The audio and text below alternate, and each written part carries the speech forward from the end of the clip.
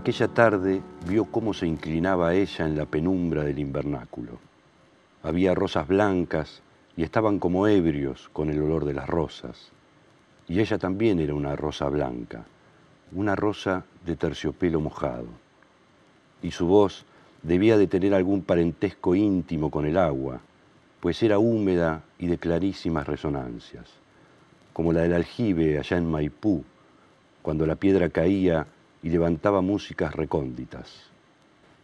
Estando solos, él y ella en el vivero de las flores, aquel recinto los aproximaba como nunca, y esa fue su gran oportunidad y su riesgo inevitable, porque Adán, junto a ella, sintió de pronto el nacimiento de una congoja que ya no lo abandonaría, como si en aquel instante de su mayor acercamiento se abriese ya entre ambos una distancia irremediable, a la manera de dos astros que al tocar el último grado de su cercanía tocan ya el primero de su separación.